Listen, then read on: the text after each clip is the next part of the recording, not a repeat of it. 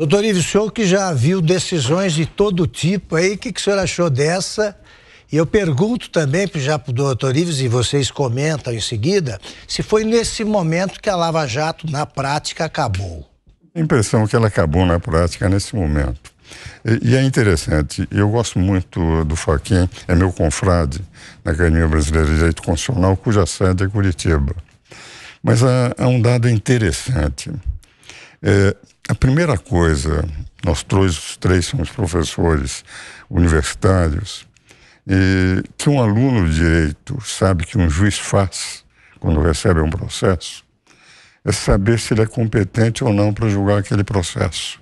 Qualquer aluno de direito, eu estou falando daqueles que estão começando, sabe que para começar a gente tem que saber, porque só se ele souber que ele é competente é que ele continua o processo. Não houve. Essa alegação foi feita, foi afastada. Três desembargadores da melhor qualidade do TRF. Mas o presidente, que na época era o Thompson Flores, que apesar de não poder julgar, fez questão de se manifestar, dizendo que as decisões tinham sido muito boas. Ele não precisava se manifestar porque era presidente, o problema era a turma que tinha. Todos disseram legado, não houve nada. Cinco ministros do STJ e seis ministros do Supremo.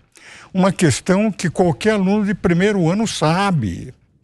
Agora, como disse a, professora Janaína, a deputada Janaína, e embargos de declaração de habeas corpus, que é um processo que qualquer um pode, se não vê advogado, tiver um réu preso, tiver um juiz que pode soltar e for injusta, qualquer um pode apresentar embargos de declaração, se anula todas as decisões dizendo esses ministros do Supremo não sabiam o que é saber se o juiz é competente ou não. Os ministros do STJ não sabiam se ele era competente ou não. Os desembargadores não sabiam, o Sérgio Moro não sabia. Mas eu agora descobri que aquilo que qualquer aluno saberia, eu descobri agora. Gosto muito do ministro Fachin, tenho um grande respeito, somos muito amigos, mas indiscutivelmente, quando saiu no jornal, como disse a professora Danalon, Damalon, não é?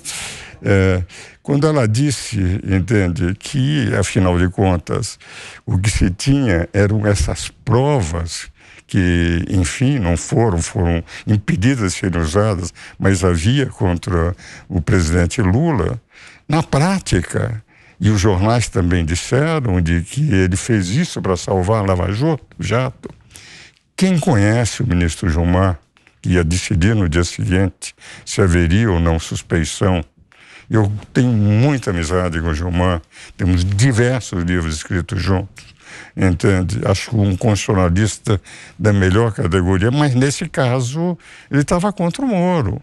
E quando o Gilmar toma uma posição, todo mundo sabe de antemão, porque ele comenta com todo mundo antes.